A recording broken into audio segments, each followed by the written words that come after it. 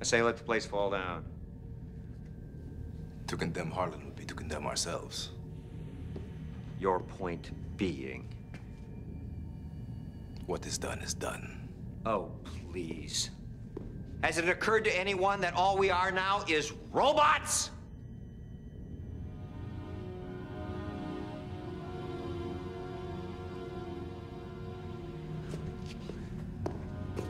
You going? I'm gonna find Harlan. Jack! Don't worry. Just talk. Robot to robot.